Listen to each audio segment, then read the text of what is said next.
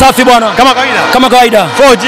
Yeah, ndio mwendo wetu, mwendo wetu, mwendo wetu eh. Okay, ah, yaliongeleka maneno mengi sana wa, watu wakasema kwamba hamwezi kufuzu kwa sababu US Gendamari naye anahitaji matokeo na ana mtu kama Victor Adebayo. Hatimaye wamekufa 4G. Performance ya Simba, yale maneno ambayo yaliongeleka na CEO Babla kwamba wana hamu ya kutinga hatua ya nusu fainali, vipi? Kwanza niseme tunamshukuru Mwenyezi Mungu. Baada ya hapo, tunawashukuru wachezaji wetu na sisi pia mashabiki tuliofika kwa wingi na kuipa nguvu timu yetu.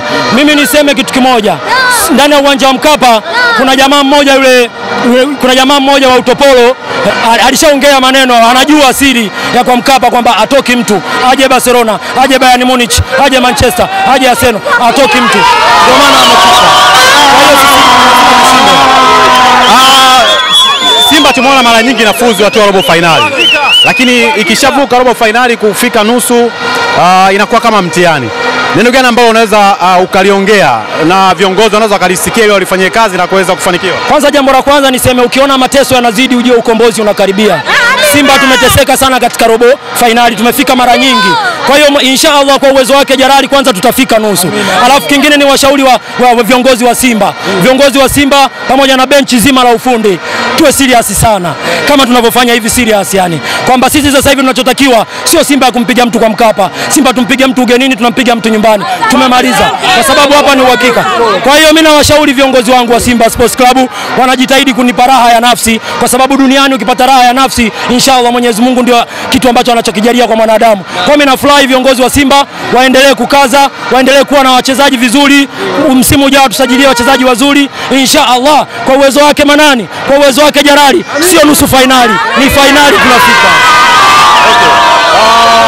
Chris Mugal amerejea, ametoka majeruhi, ametia kamba mbili. Performance yake uh, alivyorejea, unahisi kuna vitu vingi sana ambavyo anaweza akaifanyia Simba. Mpira ulivyo kama baskeli, yani uwezi ukasahau, ila utakosa tu control. Mugalu ndivyo alivyo, injury imemfanya kwamba akose match fitness, lakini inshallah kwa uwezo wake Mungu amerudi, mambo yatakuwa vizuri. Mimi naamini Mugalu, Mugalu mpya, Mugalu mpya anakuja inshallah. Haina no. Mmeweza kushinda ushindi mnono na kuweza uh, kutinga katika hatua ya robo fainali. Performance ya Simba uh, katika hatua hii umeonaje? Kama ulivyoona mwenyewe, mziki huwe umefungwa, mziki wa msio wa mchezo sawa. Show imepigwa ya kufa mtu. Wale jamaa walikuwa watakiwa pigwa goli nane. Kipindi cha kwanza tumekosa goli zaidi ya tano, sababu tumejipanga na tumejipanga kuchukua ili kombe. Hili kombe si hatuliachi, ni mali yetu kama kawaida eh. Okay, mkitoka mkitoka hapa mnaenda kucheza na Coastal Union, mnarudi sasa kwenye ligi kuu. Simba ikicheza Tanga, mchezo unakuwaga mgumu. Ndio. Bado na imani kwamba hatua bado, hii ni kama mbio ya marathon, mnaweza mkarejea kubeba ubingwa wenu. Ubingwa ubingwa ni wa kwetu, ubingwa ni wa kwetu.